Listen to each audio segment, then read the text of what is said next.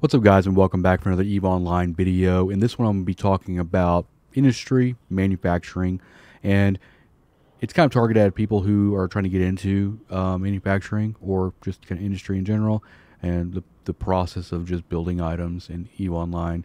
The, uh, the goal of this video is to kind of give you some, uh, some insights or uh, some advice as to how you should kind of approach the entire kind of situation because it can be very daunting. That's the thing you can definitely go down a rabbit hole when you start looking at all the different blueprints and all the different components that can be made and manufactured in this game. So I think if you're starting off, it's very easy to get lost. But with that being said, starting off small and then just kind of working your way into the more complex things is definitely something that is a little bit more manageable long term. Now, it's definitely perfectly fine when you're starting off to kind of work off of like blueprint copies that you find and just kind of make whatever you can. It's a good exercise in finding just kind of a random uh, BPC and then looking at the requirements and then trying to go out and find that stuff or maybe even trying to like buy the raw materials and get a get a good profit on that. One of the big things too is just kind of knowing exactly kind of what to build and the market in Eve is always going to be changing always. So my biggest piece of advice for anybody trying to get into manufacturing and things like that would be to try to diversify what you can make. Don't uh, try to stay within like one or two different types of items because the market is going to change. The more things that you are able to build from blueprints, the better, right? Because you can look at the market. Maybe today this certain item is more profitable than the other, and that's kind of how you have to play it at scale if you want really, really consistent income also just kind of knowing how to like look at mark i don't usually use any sort of like spreadsheets or do anything crazy in order to look at like profit margins. I do try to track all of my expenses across the way. I also don't necessarily buy raw materials and then manufacture to flip. I end up i prefer kind of just you know generating all the raw resources myself.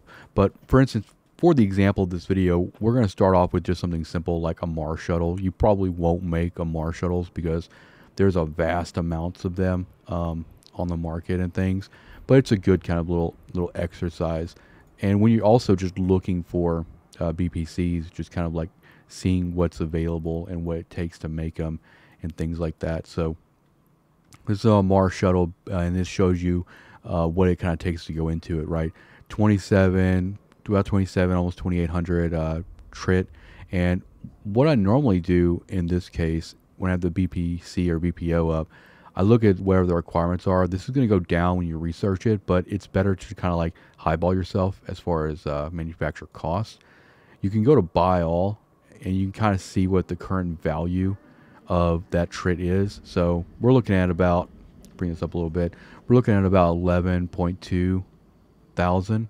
So we'll say 11.3, or you can just round to 12 and then let's go back to the BPC. And now let's go to the actual product that it produces. And we'll look at the uh, market details on that.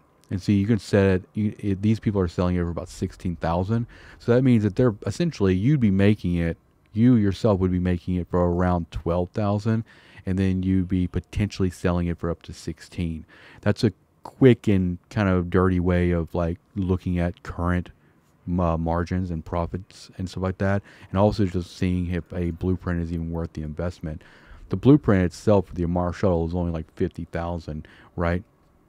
Do you take that you know blueprint or so to a uh, engineering complex, whether it be in uh, somewhere in high sec or somewhere in low sec or preferably in null sec, and you get it researched?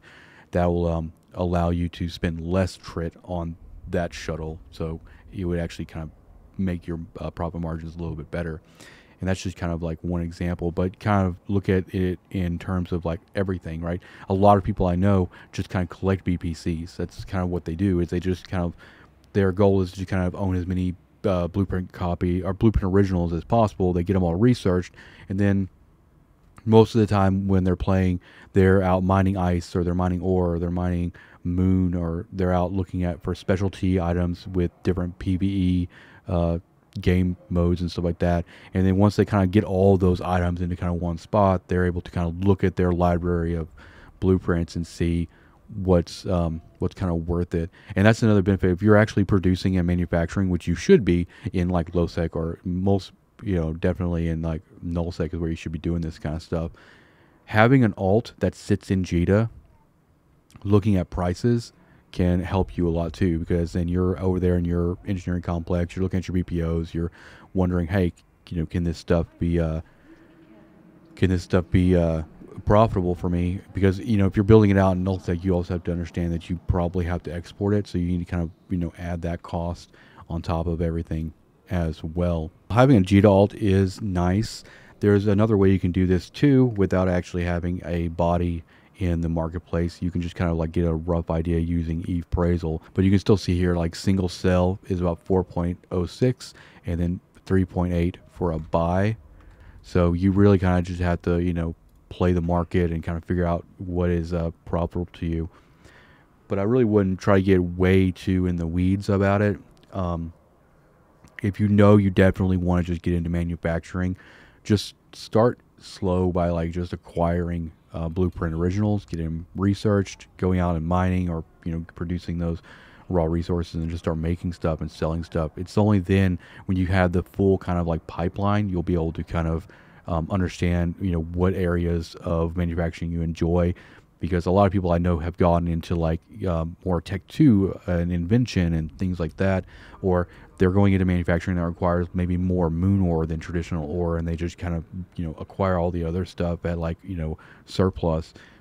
Really, kind of depends on how you want to go. There's a lot of ways you can kind of approach it, and you can get into a lot of niche markets if you find them, and things like that. But most of the time, another big piece, big piece of advice I have when it comes to actually just selling stuff on the market, especially if you hold a lot of inventory, don't get in a hurry to offload that inventory you know, try to establish yourself where you can kind of like, you know, maintain yourself in your current, you know, gameplay loop by because you have a lot of power. If you can hold um, inventory and wait for a really wait for the market to kind of favor you, you end up actually uh, doing really really well. And for me, that's a lot more enjoyable. You know, I log in every day and you know check the items that I might be holding. Are they good? You know, can I make a good profit on them? You know, and you can use spreadsheets kind of set you know minimum um, uh, value that you want to like at least get and things like that.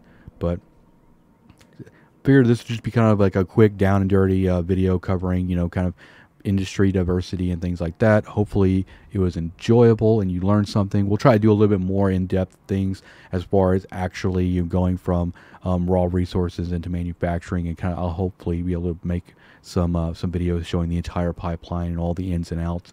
But this is a good place to start in just like conceptualizing the actual process and things. So Thank you for watching, and I'll see you in the next one.